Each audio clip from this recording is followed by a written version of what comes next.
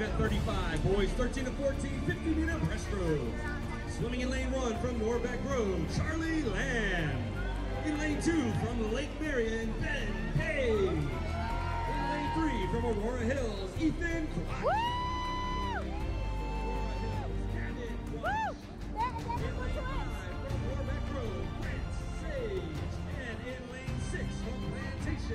Alex Walker.